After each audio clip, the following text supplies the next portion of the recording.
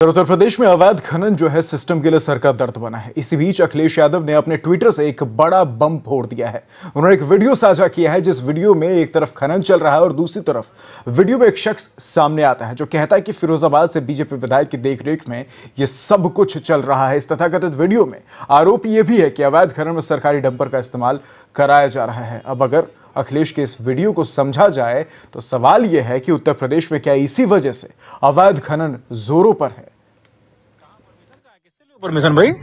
Sir निगम की गाड़ी है। तो निगम की गाड़ी तो कहीं से हो जाओगे यार बालू उठा रहे हो भाई तुम उसमें पूरा। तो ये तो विधायक जी से आप बात करिए। परमिशन तुम दिखाओ यार। हैं? विधायक जी का है, चल रहा है कौन से विधायक जी का? मनीषा सिंह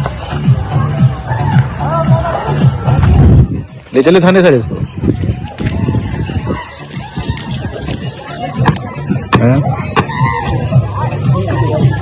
ये कहाँ जा रही हैं सब? हम्म? कहाँ लेके जा रहे हो? जी आशाबाद से और जो तुम्हारा रोड है प्रेमेश्वर गेट की तरफ़ उस रोड किस काम के लिए?